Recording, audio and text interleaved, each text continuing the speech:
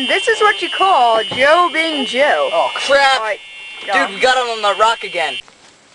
Okay, uh, so I'm gonna catch you Ah. up to date.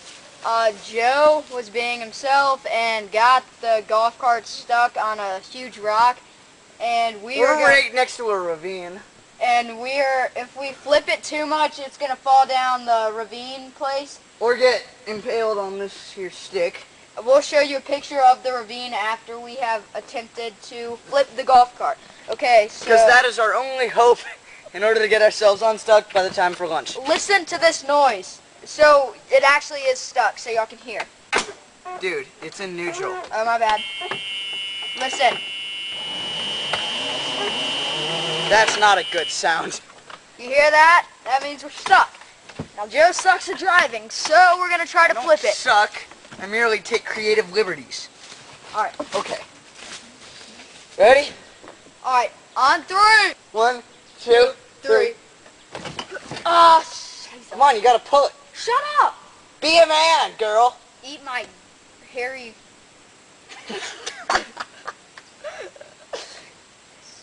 Ah, Oh One. I wasn't paying attention. two, Three.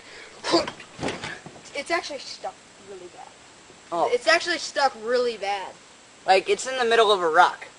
Did you show a picture of the rock? Uh, no, I'll do that at the end. All right. Okay, one, Two. two, three. Dang, we got air on that. Ready? Again. Oh. Oh gosh. Let's try the other side. One, two, three. Check and One. see if it's unstuck. Two, three. Check and see if it's unstuck. Definitely stuck, but whatever.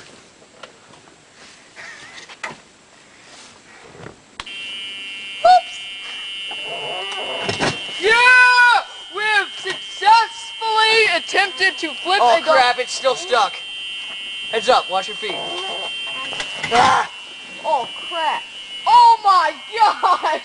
Oh my lord! Holy! Oh my gosh, I forgot to put on the brake. Look at this rock. We unearthed it. oh my gosh.